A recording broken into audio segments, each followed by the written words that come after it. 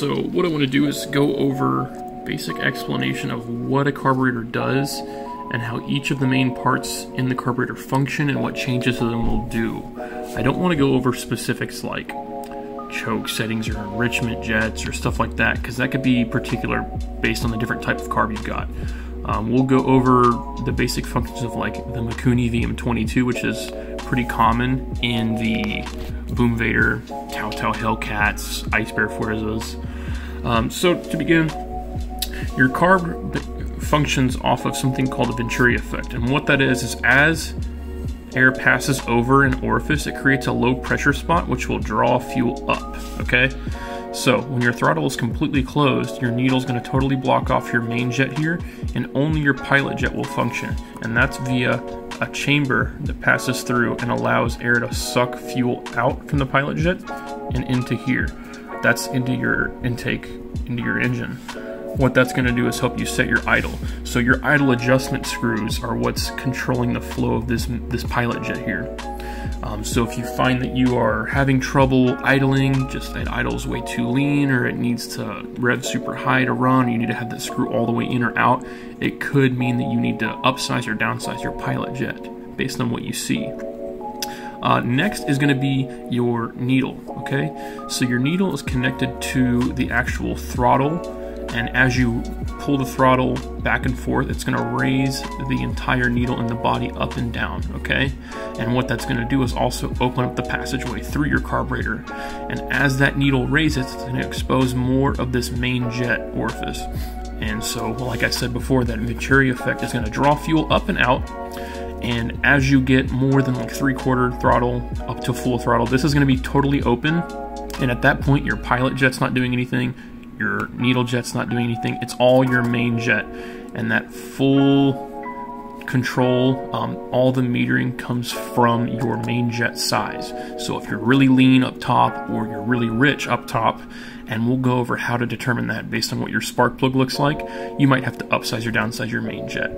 Um, now, things like your float bowl and how to set the float, that's a little bit um, more in depth than I can explain with this picture. Um, but these are going to be your main parts and the main functions of that carburetor. So, idle to quarter throttle is going to be your pilot jet.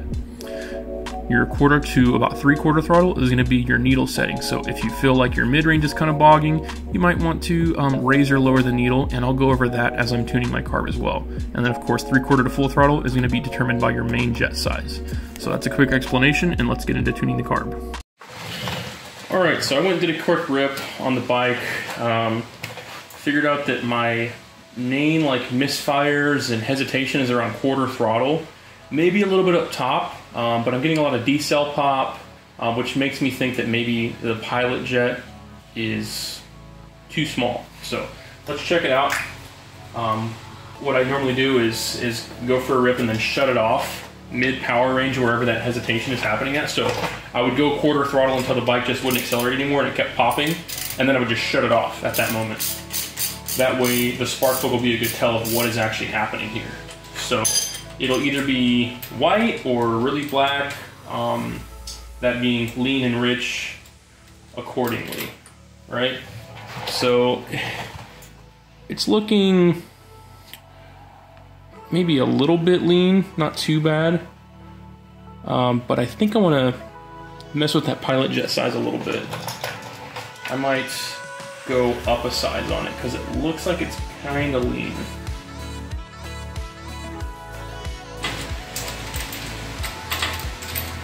Get in your home.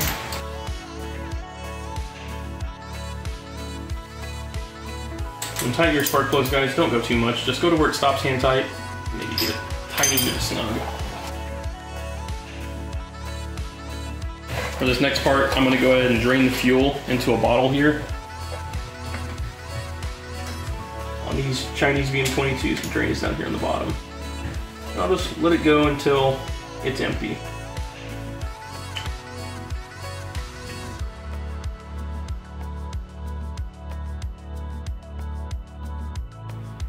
There's a decent amount of fuel in there. A lot more than I thought it was gonna hold.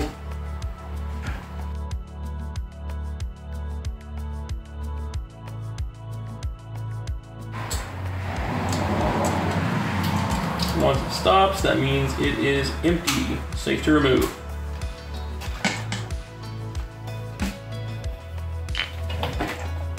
Now, unfortunately, on my bike, um, I don't really have the correct intake elbow, so I've got to remove the entire elbow and carburetor assembly together to get that bowl off, or else it hits the head.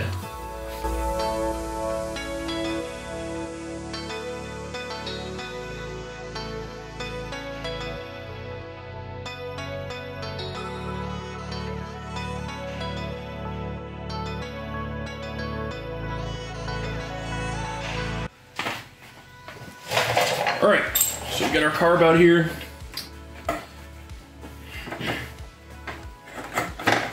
First thing I'm gonna do is undo these bolts on the bottom here, and that'll give me access to the jetting inside.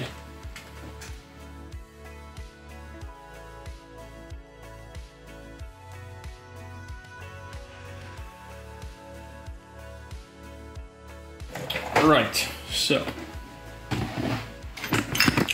here's your jetting right here. It's your pilot jet, and this is your main jet. Remember, this is your idle control and quarter throttle, and this is going to be your uh, basically quarter to full throttle based on how the needle jet is moving. Once it's fully open, three quarter to full throttle, it's all main jet that's controlling your metering. You want to be careful whenever you're removing these um, because they are easy to damage, being that they're brass. It's a bit of a softer metal. All right. So here's kind of a close up on the main jet. Now this is saying that it's a 38, but I don't really believe that. Um, that would be absolutely massive. Most people end up running something like a 20 main jet in these. Or pilot jet, sorry. So, I think I'm going to start with this 100 main jet. I was looking for a 105, but I think that might be a bit too big.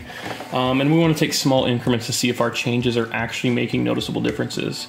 Because um, if I were to just jump up to, you know, that 105 so quickly, I might I might miss the optimal step.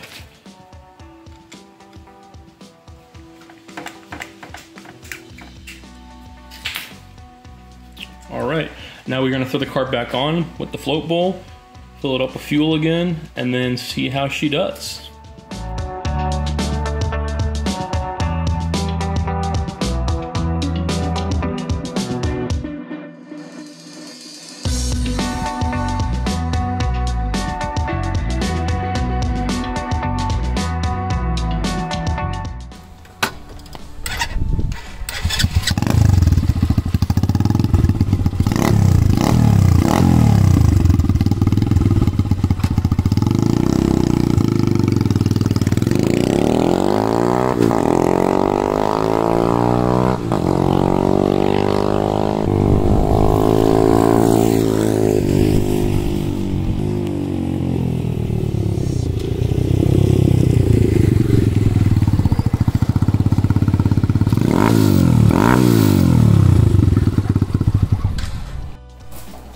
Take a look and see what change that made.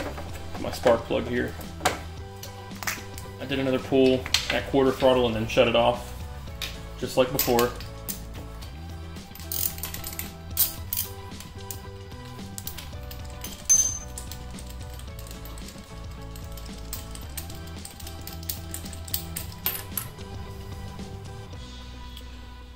Still looking kinda lean. Yeah. Not great, but it's not terrible. So I think I might go up from that 20, maybe to like a 25, and see what that what difference that makes. Um, but the main jet felt pretty good. Um, feels like a little bit more power up top. I might still go up another size on that. Uh, we'll just have to check it out, keep going, keep up in the size until it starts to run worse, and then dial it back a little bit. All right, so I've done a few more changes to this. Um, I went up to a 100 main jet, and then I checked with my set of jet drills. Um, these are super handy if you don't have a lot of jets, you can just drill them out. Um, but remember, you can't undrill things. So, nice, nice to have those. Um, I actually checked with those drills, and that supposed 38 pilot jet was way smaller than even the 20. Um, so probably more like a 15. Um, it was a pretty small jet. Um, so I've got the 20 pilot jet in there, and then I tested that with the 100 main jet. It was still a little boggy mid-range, and then up top it was okay, but I feel like it was still lacking on power. So I raised the needle um, one notch, and that is done by undoing the top of your carb here, and you'll pull the actual throttle cable and or the throttle cable and the needle out. So whenever I talk about raising the needle up, this is what I mean. So we're gonna take our carb apart, and then in here, make sure I catch this little retainer here. In here, you can see what I'm talking about, these notches. So whenever I say that I'm raising the, the needle up, I'm actually moving this retaining pin down one notch. And what that's effectively doing is raising the needle up as it sits in the main jet. So that's going to allow for a little bit more fuel mid-range because uh, that's where I was feeling a lot of my bog. So that seems to have fixed that. And then I up to the 105 for the main jet. So right now I'm looking at a 20 pilot jet, raise the needle up one notch from the middle, and then a 105 main jet. And it seems to be running pretty good. So I'm to check the spark plug now and see what this is looking like. All right, so that is what we're after. Right there, you can see there's like that kind of golden brown look to it. It's not totally black like it's overfueled, and it's not white like it's underfueled. That's pretty much what we're gonna go for.